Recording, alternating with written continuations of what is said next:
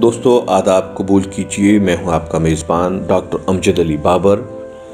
इसरार उर्दू के तहत एक नया उनवान लेकर आपकी खिदमत में हाज़िर हूँ और आज जो उनवान आपके सामने मैं पेश करने जा रहा हूँ, वो है किशन चंद्र का अफसाना कालू बंगी। जिन दोस्तों ने चैनल को सब्सक्राइब नहीं किया है, वो बर करम चैनल को सब्सक्राइब कर लें और अपने दोस्तों में ज़रूर शेयर करें ताकि सब तक ये चीज़ें पहुँच सकें।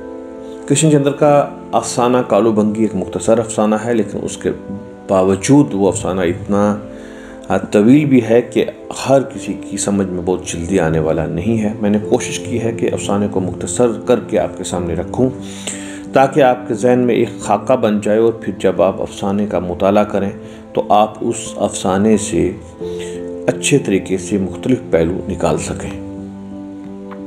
दोस्तों अपना रेजोल्यूशन बढ़ा के देखिएगा ताकि आपको साफ़ नज़र आए। और आइए आते हैं हम अब अफसाने पे। दोस्तों, ये बात शायद आप जानती हो कि किशन चंद्र का पुंज से गहरा ताल्लुक है और इतना ताल्लुक कि किशन चंद्र के मदाहों की एक बड़ी तादाद उन्हें पुंज का समझती है।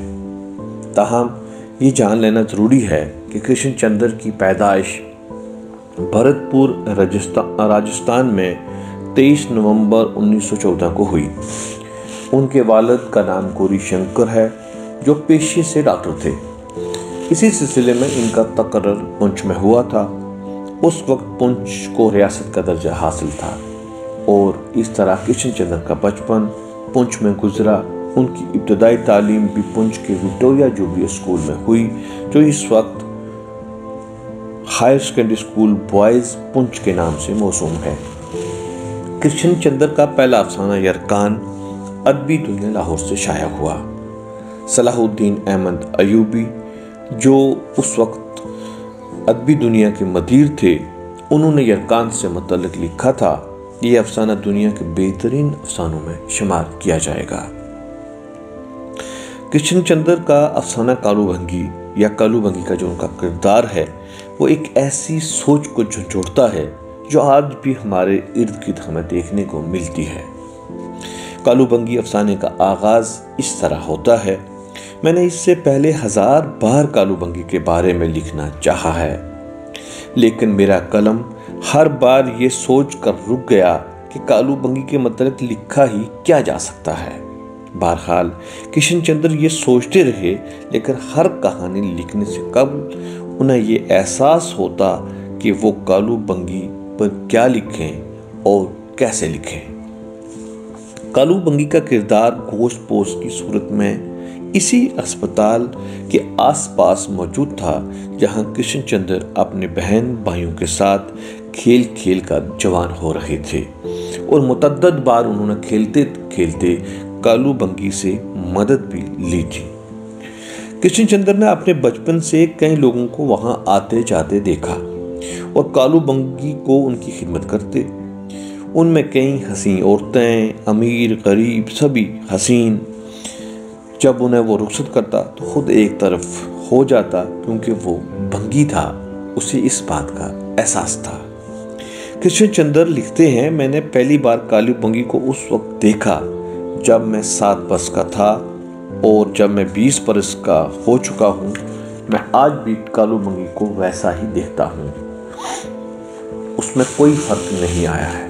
वो अस्पताल की सफ़ाई के अलावा डॉक्टर और कंपाउंडर की कमरों की सफ़ाई करता है। उनके माल मवेशी का ध्यान रखता है, लेकिन अपने लिए खुद खाना तैयार करता है। वो ऐसा काम 20 बरसों से कर रहा है। किशन चंद्र एक अरसा तक कालू बंगी पर कलम ना उठा सके। लेकिन ये कहानी लिखने से कबल कालू बंगी अपना झाड़ू हाथ में लिए उन्हें अपने मतलब कुछ लिखने पर आमादा करता रहा। कालू बंगी एक मासूम किरदार है। उसने कभी शादी नहीं की।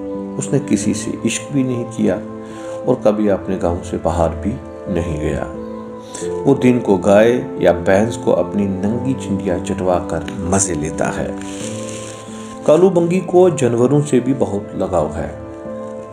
किशन चंद्र कहते हैं, हमारी गाय उस पर जान झड़कती है और कंप्यूटर साहब की बकरी भी।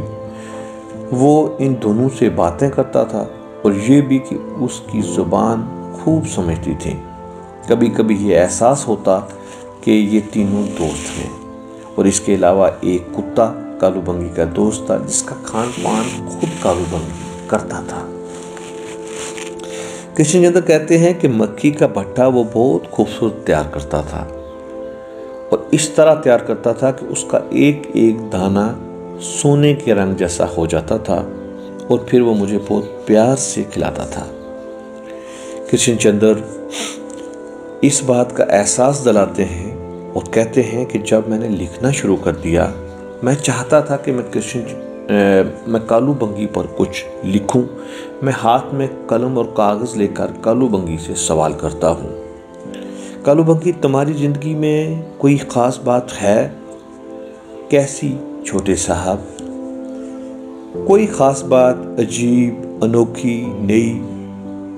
नहीं, छोटे साहब, यहाँ तो मुशाहिदा सिफर है। अब आगे चलिए, मुमकिन है। अच्छा कालूबंगी, तुम ये बताओ, तनख्वाह लेकर क्या करते हो? तनख्वाह लेकर क्या करता हूँ? वो सोचने लगता।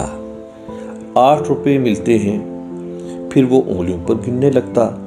चार रुपये का आटा लाता हूँ, एक रुपये का नमक, एक रुपये का तंबाकू, आठ आने की चाय, चार आने का गुड़, चार आने का मसाला कितने रुपए हो गए छोटे साहब? सात रुपये और हर महीने एक रुपया बनियों को देता हूँ, वो मेरे कपड़े सिलाई करता है। कृष्ण चंद्र ने महसूस किया कि दुनिया में कितनी तब्दीलियाँ आ रही हैं। खुद कृष्ण चंद्र अपना बचपन गुजार कर जवान हो गए, अच्छे अफसाना नगार बन गए, शादी हो गई, लेकिन कालू बंगी वैसे का वैसा ही रहा।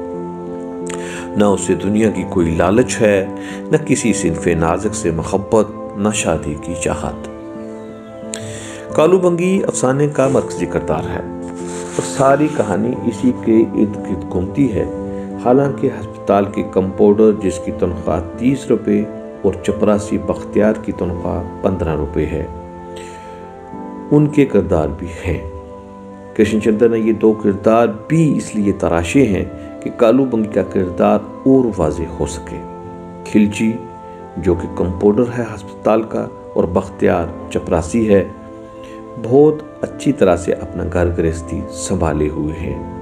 अपने नफ़े नुकसान को समझते हैं, जहाँ मौका मिल जाए, इश्क भी कर लेते हैं।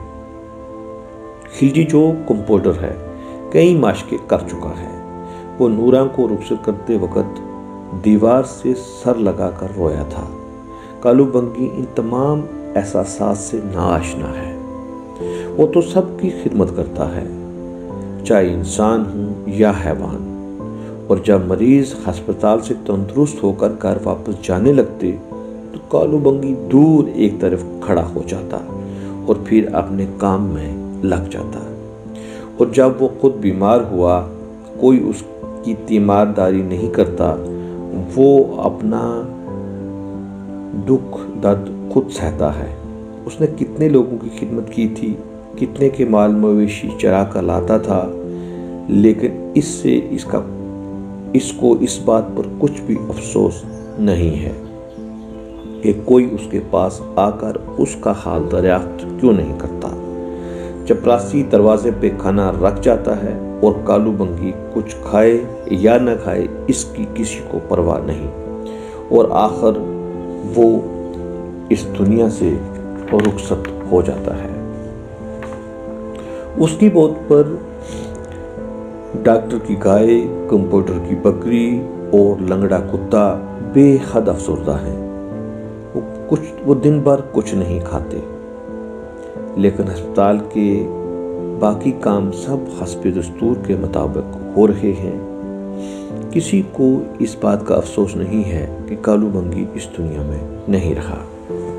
कृष्णचंद्र ने इंसानी बेहिसी को जो जोड़ा है कि इंसान कितना खुदगर्ज है, वो अपना काम निकालना जानता है, वो ज़ात पात को भी मफाद के लिए ही इस्तेमाल करता है। लेकिन कालू बंगी कृष्णचंद्र का लाफानी किरदार है। इंसान इंसान और इंसानियत को बेदार करने के लिए ये अफसाना उर्दू अदब का एक अहम अफसाना है कि हमें हर इंसान की कदर करनी चाहिए। दुनिया में ऐसे इंसान आज भी मौजूद हैं जो बहुत पुरखलूस हैं। वो गरीब ज़रूर हों, उनके पास पैसा, रुपया इतना ना हो, लेकिन उनका दिल बहुत बड़ा है। वो किसी पे अपनी जान दे सकते हैं, वो अपना वक्त दे सकते हैं। वो खिदमत कर सकते हैं, वो मोहब्बत कर सकते हैं और वो भी बेलोस। यही किरदार कालूबंगी का है। दूसरी तरफ़ जो तो किरदार हमारे सामने आते हैं, बख्तियार और खिलजी, वो कृष्ण चंद्र ने इसीलिए लाए हैं कि वो भी थोड़ी थोड़ी आमदनी के साथ अपना घर चला रहे हैं। वो शादीशुदा हैं, उनके यहाँ बच्चे हैं, वो अपने बच्चों से भी बेपनाह मोहब्बत करते हैं। जब उन्हें मौका मिल जाए, कोई हसी औरत अस्पताल में आ जाए तो वो उससे इश्क भी कर लेते हैं और वो उसके लिए भी रो लेते हैं। उनके बरअक्स कालूबंगी अस्पताल में आने वाले मरीजों का सब पोल बरीजा साफ़ करता है, गंदी पट्टियाँ साफ़ करता है, लेकिन जब कोई मरीज़ वहाँ से जाता है कालू बंकी उसके लिए नहीं रोता। बल्कि अक्सर औकात खेत खलियान में चला जाता है और वहाँ जाकर सो जाता है। गाय से अपनी चिंटिया चटवा लेता है। कालू बंकी का एक अहम अफसाना है और एक आला किरदार है जो हर उर्दू अदब से मोहब्बत करने वाले शख्स को मुतासर करता है। और दोस्तों, देखिएगा और अपने कमेंट बॉक्स में ज़रूर लिखिएगा कि ये आपको कैसा लगा। मज़ीद अपने मशरों से मुझे नवाजते रहिएगा। और जिन दोस्तों ने चैनल को सब्सक्राइब नहीं किया है, वो बर कर सब्सक्राइब कर लें और अपने दोस्तों में ज़रूर चैनल को शेयर करते रहें। शुक्रिया।